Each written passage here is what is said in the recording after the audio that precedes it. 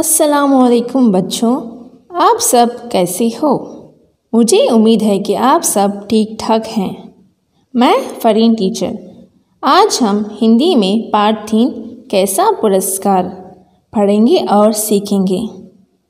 Open page number twenty two in your Hindi textbook when I read the lesson repeat after me and keep your finger under the words पाठ तीन, कैसा पुरस्कार अध्यापक जी गणित का सवाल समझा रहे थे।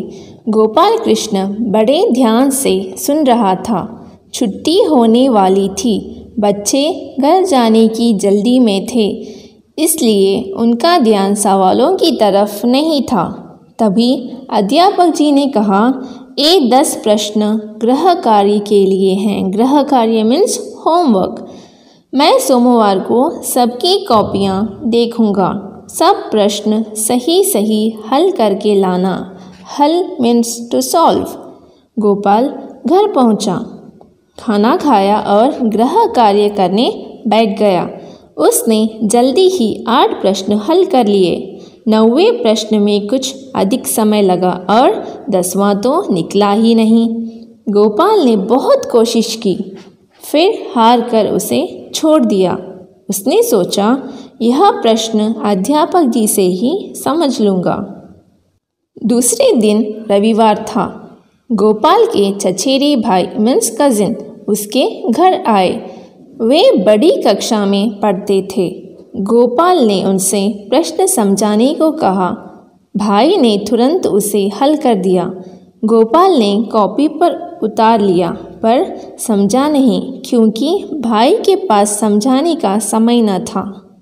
सोमवार को अध्यापक जी ने सबसे पूछा कि कौन कौन प्रश्न करके लाया है। कॉपियाँ देखी। केवल गोपाल ने ही अपना हाथ उठाया।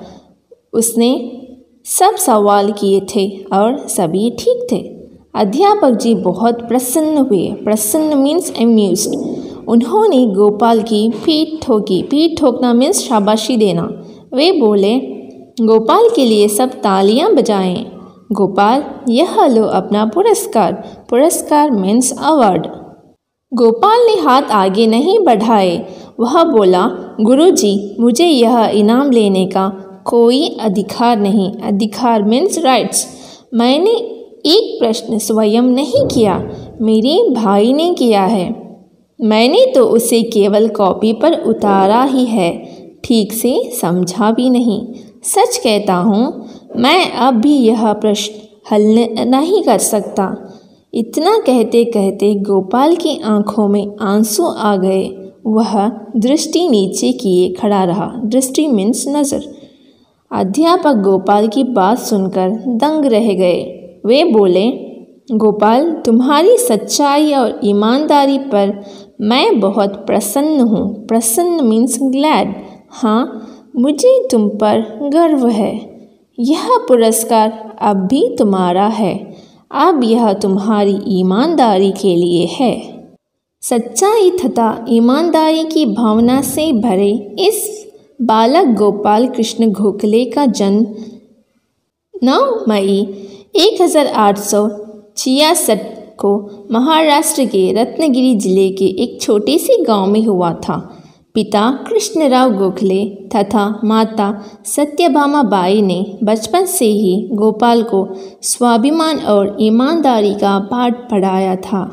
स्वाभिमान मीन्स सेल्फ रेस्पेक्ट माँ रात दिन पौराणिक कहानियाँ सुनाती तो पिता वीर देशभक्तों के किस्से। बालक गोपाल सब किस्से कहानियाँ ध्यानपूर्वक सुनते। यही गोपाल भारत की आज़ादी के लिए लड़ने वाले स्वतंत्रता सेनानी मतलब फ्रीडम फाइटर गोपाल कृष्ण गोखले थे। अंग्रेज़ सरकार की नीतियों के खिलाफ उन्होंने आवाज़ उठाई। नीतियाँ मीन्स पॉलिसीज़ अनेक पत्र और निशुल्क लेख लिखे। एक हज़ार आठ सौ पचासी में उन्होंने कांग्रेस की प्रथम राष्ट्रीय सभा में भाषण दिया।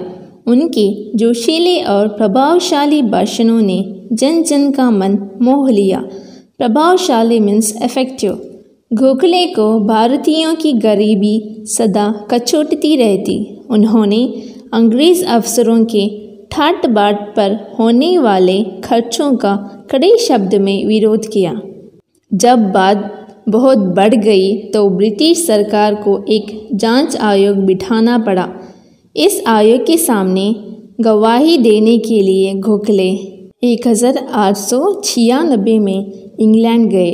घोखले ने निर्भीक होकर सरकारी अफसरों के खर्चों के आंकड़े आयोग के सामने रखे और बताया कि भारतीयों के स्वास्थ्य और शिक्षा के लिए दी जाने वाली धनराशि भी अंग्रेज़ अधिकारी अपनी सुख सुविधाओं पर खर्च कर रहे हैं। उस समय भारत में ब्रिटिश राज था। उनके विरुद्ध कुछ कहना बड़े साहस का काम था। गोपाल कृष्ण छोटे बड़े सबके साथ समानता का व्यवहार करते थे। उनके हृदय में ज्ञान देने वाले गुरु के प्रति श्रद्धा और सम्मान का भाव था।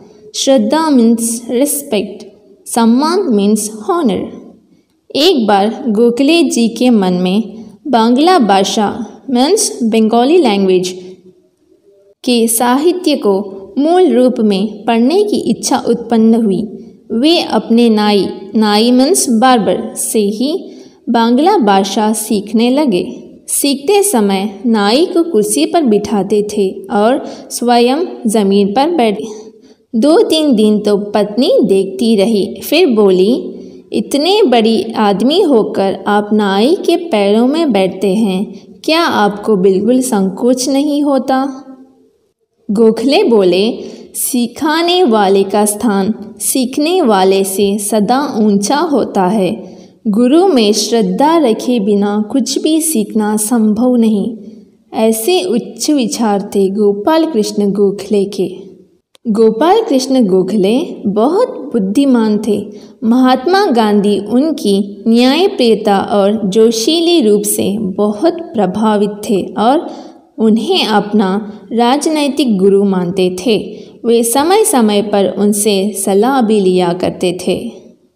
तो इस पाठ में हम गोपाल कृष्ण गोखले के बारे में जानेंगे। एक दिन अध्यापक ने गणित यानी मैथ्स का होमवर्क दिया और कहा कि इसे पूरा करके लाना है।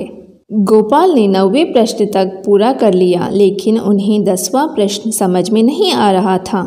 उनके चचेरे भाई ने इसे पूरा कर दिया। दूसरे दिन जब अध्यापक जी ने सबसे पूछा कि कौन कौन प्रश्न करके लाया है तो सिर्फ़ गोपाल ने ही अपना हाथ उठाया। उन्होंने सब सवाल किए थे और सभी ठीक थे। अध्यापक जी, यह देखकर बहुत खुश हुए और उन्होंने गोपाल को पुरस्कार दिया। गोपाल, पुरस्कार लेने के लिए अपने हाथ आगे नहीं बढ़ाए। उन्होंने कहा कि, मुझे यह इनाम लेने का कोई अधिकार नहीं है। मैंने एक प्रश्न खुद नहीं किया है, मेरे भाई ने किया है। मैंने तो सिर्फ़ उसे अपनी कॉपी पर उतारा है। अध्यापक जी गोपाल की सच्चाई और ईमानदारी को देखकर बोले कि, मुझे तुम पर गर्व है, ये पुरस्कार अब भी तुम्हारा है, अब यह तुम्हारी ईमानदारी के लिए है। बचपन से ही वह अपने माता पिता से ईमानदारी और देशभक्तों के किस्से कहानियाँ सुनते थे। गोपाल कृष्ण भारत की आज़ादी के लिए लड़ने वाले सैनिक थे। उन्होंने अंग्रेज़ी सरकार के खिलाफ आवाज़ उठाई। उस समय में भारत में ब्रिटिशों का राज था और उनके विरुद्ध कुछ कहना बड़े ही साहस का काम था। इससे हमें पता चलता है कि गोपाल कृष्ण बहुत ही साहसी इंसान थे। गोपाल कृष्ण गोखले छोटे बड़े सबको समानता से देखते थे। वह ज्ञान देने वाले गुरुओं का बहुत आदर और सम्मान करते थे। उनका कहना था कि सिखाने वाले का स्थान सीखने वाले से सदा ऊँचा होता है। गुरुओं का आदर किए बिना कुछ भी सीखना संभव नहीं है। गोपाल कृष्ण गोखले बहुत ही बुद्धिमान थे। महात्मा गांधी जी भी उनसे बहुत ही प्रभावित थे। तो इस बार से हमें पता चलता है कि गोपाल कृष्ण गोखले बहुत ही ईमानदार और जोशीले इंसान थे। Read the lesson and learn the difficult words